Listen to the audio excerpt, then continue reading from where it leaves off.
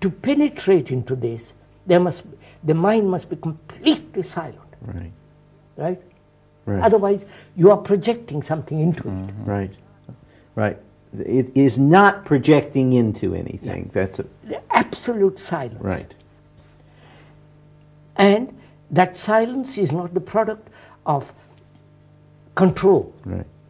wished for, premeditated, predetermined. Right. Therefore, that silence is not brought about through will, Right. right? Right. Now, in that silence, there is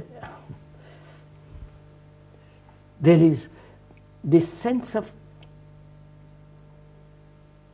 something beyond all time, all death, all thought. You follow? Mm-hmm. Something Yeah. No.